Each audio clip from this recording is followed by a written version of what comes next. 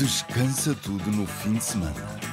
Porque às segundas vais precisar da cabeça fresca para acompanhar a loucura total do Nicolas Cage.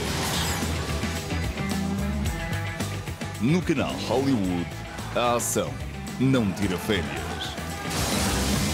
Okay, let's run. Verão de ação.